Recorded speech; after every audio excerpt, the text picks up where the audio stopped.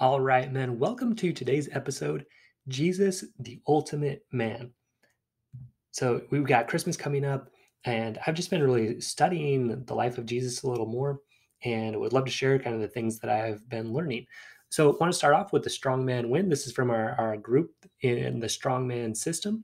Uh, so, this is one of our gentlemen. He says, Before we went to bed, had a few moments alone and did a state fair. That's one of the models we used to kind of look at our thoughts about ending the night with sex. It was a prospective state fair rather than one looking in the rearview mirror. I'd never done that before. I wanted to come to it strong and solid. My thoughts? You are the woman I choose to share my life, my body, and my soul with. I choose to give me to you. I choose you over everyone else. You might consider those intentions too. Those are great. That's a great way to approach sex. In any event, I did the state fair quickly and I felt an increase in personal confidence and approach sex with a type of confidence I haven't for a while. There's been sex between us off and on for a while, but this was one of the best, mostly because I felt like we were more connected before and after. Outstanding. So uh, a great job. You know, this is what we do. We uh, we create these incredible marriages, these incredible connections. A lot of it has to do with our own strength and confidence. That's why we talk about get strong, get attractive, get that strong, joyful, and intimate marriage. So in your life, who are the, your examples of manhood? You know, this is really what the strongman system and Strong Men Strong Marriages is about is becoming better men, stronger men. So in my life, my dad is a great example of, of manhood. So he really embodied, I think, kindness, still does, uh, gentleness, being loving, someone who's just there, solid there for me. I really appreciate that about him. Uh, my maternal grandfather was more of kind of a, a strong kind of guy, um, very dedicated to our church, uh, kind of a disciplinarian growing up. I didn't see that as much, but his my my aunts and uncles did. Uh, funny, you know, joking around kind of guy. He used to. Uh, he had a fake tooth. He'd like take it out and you know make it look like it was sticking out. Joke around with us like that.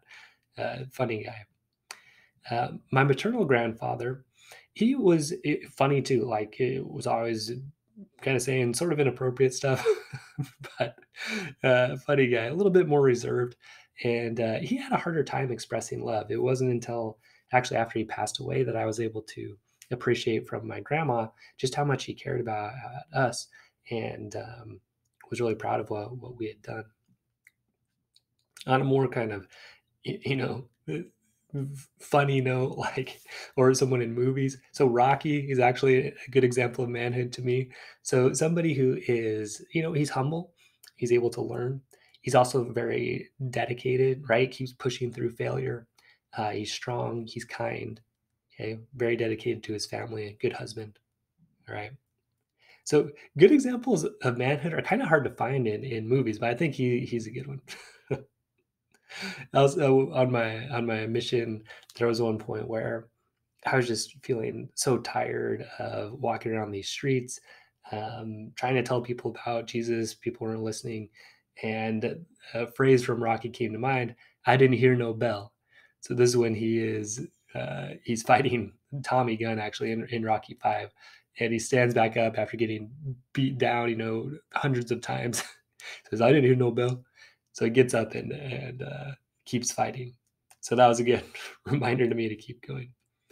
But really, who we want to look to as as Christian guys, or at least for me, who I want to look to, you know, Jesus is the ultimate example of a man, like the ultimate man. So I've been reading through Matthew in the New Testament and a few other places in the New Testament to really try to understand the character of Jesus better. And I've, I've found some interesting insights that I wanted to share. So one of those is Jesus, you know, he's an outstanding leader. And he did that by being a great follower first. So in John 5 19, uh, Jesus says, Verily, verily, I say unto you, the Son can do nothing of himself, but wait, what he seeth the Father do. For what things soever he doeth, these also doeth the Son likewise. So, in other words, he was just trying to do what God told him to. Uh, you know, some of the people in our church say that his uh, will was swallowed up in the Father's will. In other words, he kind of let God really guide his life and got to know God at that deep level and really followed and became like God.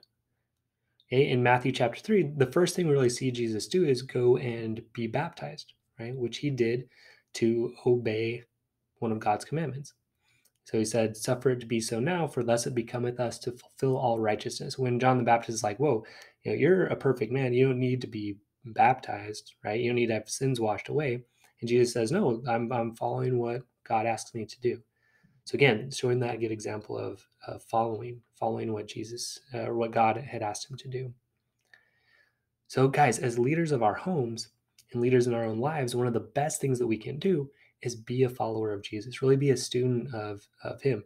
You know, with Christmas coming up, this is a great time to really dig into, you know, the New Testament in particular. If, if you're a member of the Church of Jesus Christ of Latter-day Saints, the Book of Mormon also, you know, um, Doctrine and Covenants, these can be places to just understand who Jesus is much better.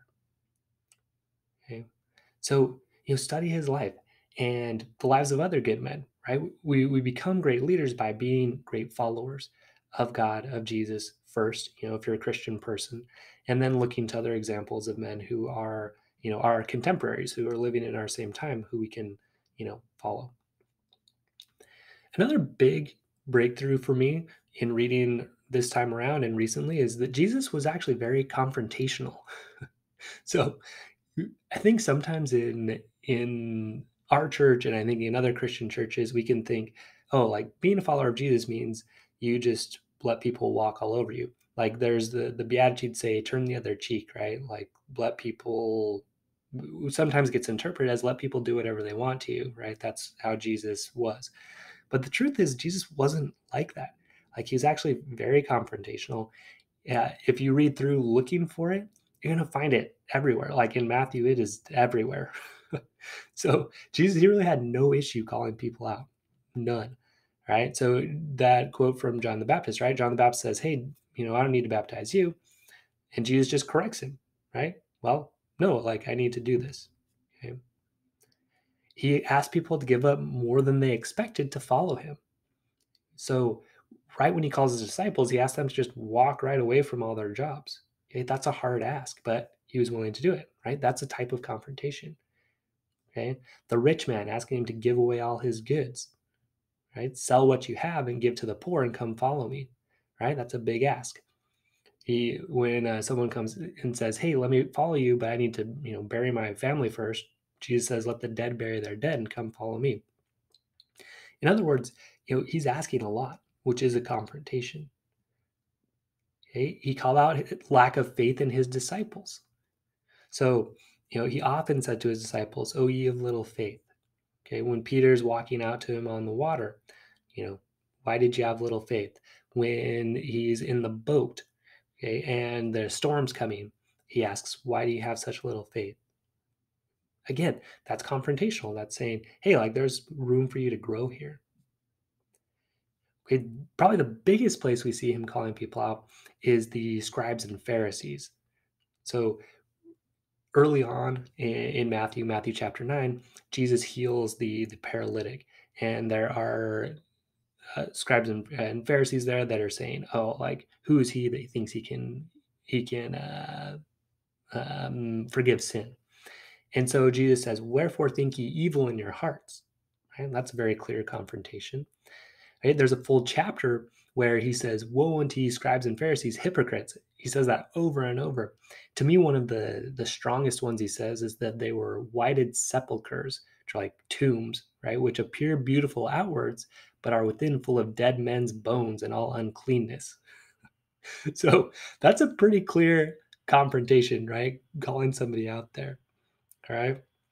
Another good one, Matthew 23, 27 the same scribes and Pharisees are saying, Why do you transgress? Why do thy disciples transgress the tradition of the elders? Jesus responds, Why do you also transgress the commandment of God by your tradition? So, very clear, very clear confrontation, right? In Matthew chapter 15, he calls Peter Satan. He says, Get, you, get thee behind me, Satan. Thou savorest not the things of God, but the things of men. So, he was very willing to speak his mind, to correct as he saw needed.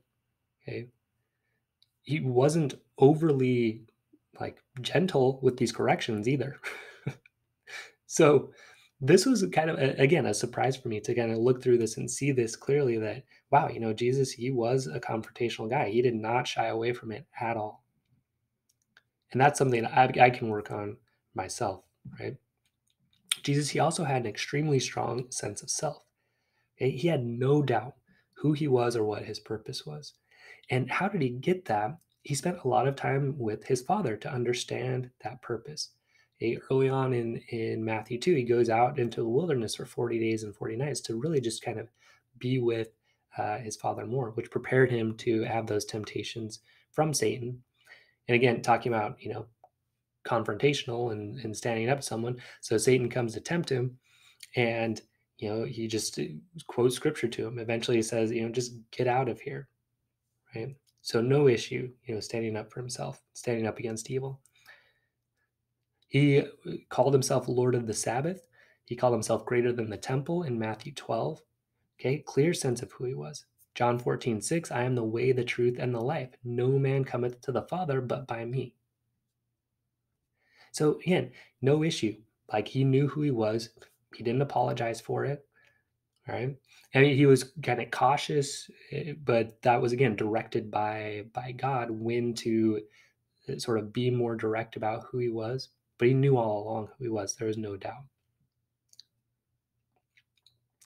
The other thing that Jesus did is he spent a lot of his time serving the people who were more kind of on the fringe or outcasts of society. I just uh, started recently reading a book called, or finished a book called Falling Upward, that kind of drew attention to this idea too about how, you know, that's really where Jesus was spending his time. It wasn't with the elites of society you know the the scribes and pharisees or whatever it was with people that were more on the fringe. He so jesus he really had very little interest in social standing basically none. So if if he was interested in it he would not have been you know calling the scribes and pharisees hypocrites. He would not have been hanging out with the people he was hanging out with. Okay in Matthew 9, it says he spent his time with publicans and sinners. So he ate with publicans and sinners. So publicans being tax collectors, very looked down upon, just like today, IRS, right? if you work for the IRS, sorry, but yeah, people don't like tax collectors very much. Um, and, and sinners, which you know is a funny thing for them to say, right? Because we're all sinners. And Jesus kind of helped draw their attention to that as well. That, you know, the whole need no physician. You know, I came to the to the sick, the whole need no physician. You know, even though those guys also clearly needed a physician, they just didn't uh, see it. But anyway, that's who he spent his time with, right? Publicans and sinners. He also spent a lot of time with women. You know, if we look through the uh, the scriptures, a lot of the people that he healed were women. You know, he spent a lot of time with uh, with Mary and Martha.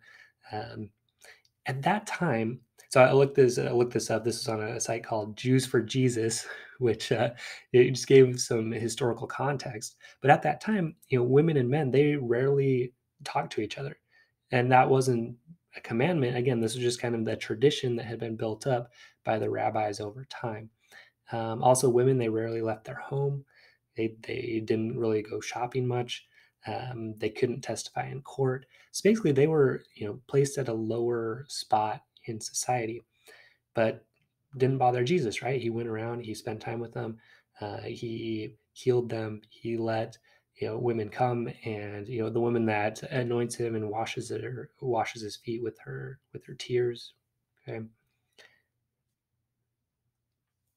Uh, also, you know the the Gentile woman is a good example where uh, this is in Matthew 15, uh, 27, where this woman comes and asks Jesus to heal her uh, her child who had a devil, and Jesus says, you know, it's not meet to give um, to give uh, you know scraps to the the dogs, right? And then the woman says, well, you know, even the dogs eat the crumbs of the table. And then Jesus heals her. That's another thing Jesus did, kind of with that confrontation idea, where he would sometimes uh, sort of challenge people a little bit and say, you know, they wanted something, he'd kind of give them a little challenge and then see if they would meet it. You know, so this woman did, you know, she kind of kept coming, she kept asking, and Jesus granted that to her, you know, healing her daughter or her, her child. Another people another group he spent a lot of time with were lepers, right? He healed a lot of lepers who were definitely outcasts of society at that time. The centurion, you know, a Roman soldier, again, like the the Jewish people in general didn't really like them. Okay. Um, so, you know, if you, if you look, he just spent so much time with all these marginalized or, you know, kind of looked down upon groups, Samaritans, right? The Samaritan woman, you know, he, it didn't, he just didn't go with the, the cultural flow, right? He didn't buy into the prejudices and, and hatred and, you know, looking down on other people. He didn't do any of that. He saw himself as a servant. That's another thing that I, I really have been focusing on lately is he says, you know, the greatest among you will be the servant. And he was really the example of that. So, quick summary and some of my takeaways, but I definitely encourage you, you know, especially with Christmas coming up, if you're a Christian person, take the time and, look through, you know, go through the New Testament. Uh, if you're a member of the Church of Jesus Christ of Latter-day Saints, you know, go through the Book of Mormon and just look for, you know, who was Jesus? What are his character traits? What can I take away to, you know, be a better man? Because he's our example, right? He's the example of the ultimate man. So again, quick summary of my takeaways. So Jesus, he was a great leader by being a great follower. So for me, I can use God, Jesus, and other good men as guides in my life. Jesus, he was confrontational. So I can take a stand for myself and what's right, even when it's unpopular. That's one that I'm growing into. I'm getting better, but I definitely uh, can do more of that. Jesus, he had an extremely strong sense of self. And I can remember for myself that I'm a son of God. And because of that, I have infinite worth and infinite potential. Along with that, that I'm enough as I am. You know, that's one that I'm working on right now, that I don't need a certain amount of money or a certain amount of clients or a certain amount of, you know, whatever. Those are the ones that kind of uh, haunt me the most is, you know, trying to, to make a certain amount of money. Um, but just remembering that I'm enough as I am. Also, Jesus, he wasn't worried about social standing, but he spent his time in the service of those who needed it. So I can look for ways to serve other people. And, and even, you know, if I want to be a good leader in what I'm doing, trying to help men, best way is to be a great servant. I mean, that's a big takeaway for me. I can also look for people who are kind of on the outcast or marginalized. What came to me personally was to, you know, look at the homeless people. There's quite a few homeless people here in Southern California how can I be more of service to them versus, you know, kind of looking down on them or judging them, right? So that was kind of my personal takeaway on that. All right, man. So use this time, use this this month, these these next few weeks to really study the life of Jesus and other good men, you know, as your examples. All right, man. Stay strong. We'll see you next episode.